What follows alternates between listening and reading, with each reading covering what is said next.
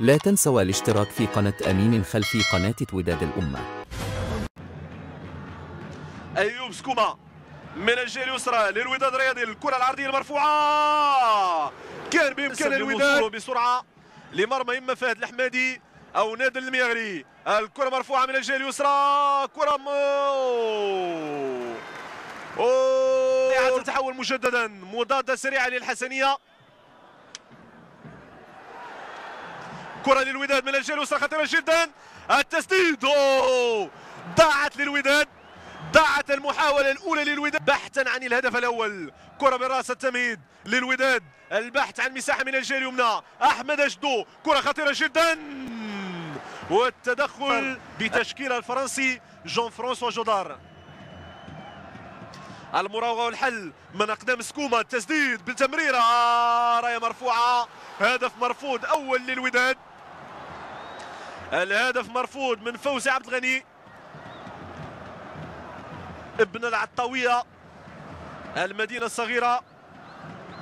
على مستوى المساحة الكبيرة المساحة الكبيرة برجالتها. بالقرب 80 مع باختاخور تاشكاند هنا الكرة ملعوبة ضاعت للوداد مجددا. تموري للخميسات. اليوم الكل يبحث عن الهدف الأول إما في مرمى نادي المياغري أو فهد الحمادي محاولة خطيرة جدا للوداد مجددا. بن كوجان كان قريب. الذي انهزم أمام الكاميرون في انتظار رد الدين في مواجهات قادمة. ننتظر أن تكون بالجابون وغينيا الاستوائيه وداد على مستوى نصف ملعبهم لما يصعدوا للبحث عن الأهداف. ونقوم بجواد جيرار لكن نادي المياري في المكان المناسب. يحول الكرة في تماس. تراجع كلي لكل لاعبي الوداد لمساحة العمليات لعدم استقبال هدف غادر خلال الثواني الأخيرة من الجولة الأولى.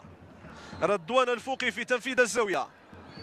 رضوان الكرة مرفوعة خروج نادي المياري الذي ينذر ويعلن عن نهاية غائبة.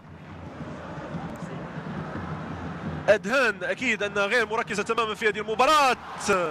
الحكم ماذا قال وماذا سيقول؟ يأمر فوزي عبد الغني بالنهوض ومواصلة اللعب ومواصلة المباراة خلال الجولة الأولى وبالضبط في الدقيقة الثانية. سنبقى مع الزاوية للوداد.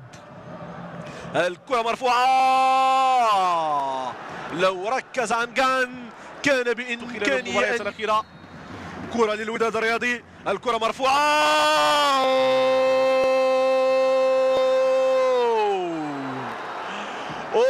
الوداد ضاعت الهدف الأول من محمد بن رابح من بيضودان ضاع الهدف الأول للوداد. الكرة في الزاوية. المساندة غير مشروطة تماما من طرف أنصار الوداد. هنا الإعادة بن رابح وبيضودان الكرة في الزاوية المتابعة بالرأس من جانب دفاع الحسنية. نار الحماس تلتهم مدرجات المركب الرياضي محمد الخامس. يعني أكيد أن المدرجات تعيش على ترقب كبير وعلى حماس كبير جدا. حماس منقطع النظير. بالمركب الرياضي محمد الخامس بالدار البيضاء. خطا مضاف للوداد في انتظار 29 دقيقة الأخيرة من هذه المواجهة. كرة من خالد اسقاط في تنفيذ الخطأ. الكرة مرفوعة المتابعة! الوداد تضيع هدف آخر. هدف ثاني في زمن قياسي قدره دقيقة ونصف. الزاوية وباسكرانجان الكرة بالإعادة مجددا. الكرة تلعب بسرعة. من الجهة اليسرى لكن تدخل دفاع الحسنية وينعي هذا الضغط الهجومي رهيب من جانب الوداد. الوداد أفضل خلال الجولة الثانية. كان أفضل خلال الجولة الأولى. ما ينقص هو الأهداف ما ينقص هو هدف أول خلال هذه المواجهة. كرة من جو بيغوا جيرار. ينطلق يسدد لكن الكرة بعيدة عن مرمى نادر لمياغري يتوصل بالكرة. تنطلق الهجمه للوداد بكرة عرضية لمراد المسن المراوغة الحل الكرة مرفوعة. ليس ديزايس مويتيس.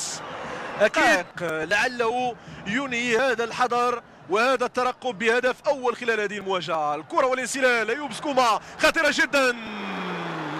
لكن دفاع الحسنية في المكان والزمان مناسبين في المساحة المرجوه يعيد هذه الكرة للوداد الرياضي. الكرة مجددا ودادية من اليمنى. الكرة بالراس من محمد الحسيني. يعني كم من الوقت وهنا الإعادة لغو بيغوات جيرار الذي فوجئ بنادي المياغري كرة ما بين رأسي اللاعب والحارس وتنتهي بإصابة غوبي جيرار ونادي المياغري اللذين نتمنى أن يعودا بسلام لمواصلة الربع ساعة الأخيرة من هذه المواجهة.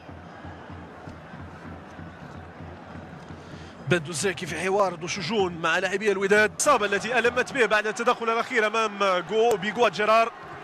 يخرج ويتم تعويضه. بكريم فقروش نفس الزمن ونفس الثقة التي نمنحها للمحترفين اللي هم أيضا قادرين على تقديم الإضافة. كما هو جو بيغوا جيرار. جو لوحده يبحث عن المساحة وتسديده.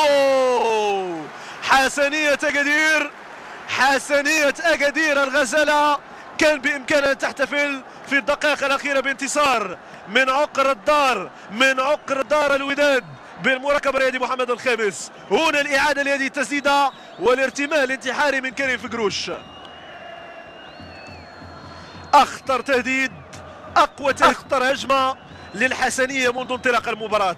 انتظروا جميعا للدقيقة 81 للاحتفال بأول هجمة في هذه المواجهة. لمن ستكون؟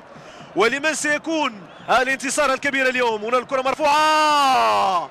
خطيرة جدا لحسنية أكادير. تتحول بسرعة للوداد. بتمريرة لليس مويتيس ديزايس.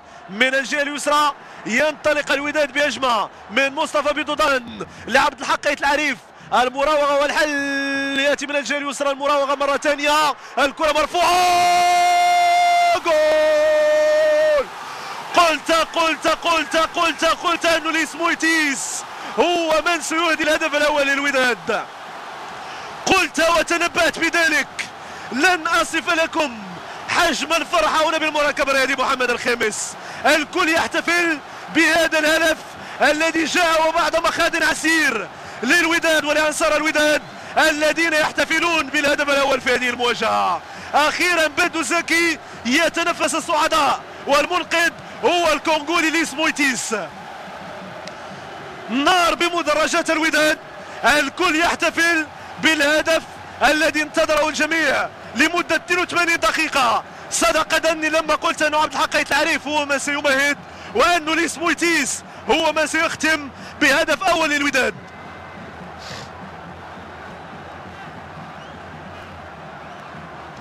الوداد واحد ليس مويتيس يحتفل اللاعب الأنيق الكونغولي القادم من الكونغو برازافيل. الكل في مساحة عملية الوداد. القصيري في التنفيذ. خروج كريم فكروش. خطأ خطأ خطأ. مكلف لكريم فكروش.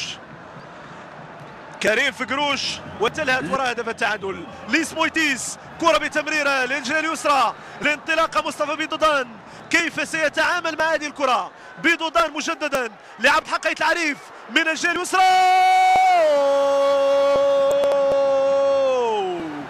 أوه أوه مصطفى بيضودان يضيع ما لا يضيع يضيع ما لا يضيع.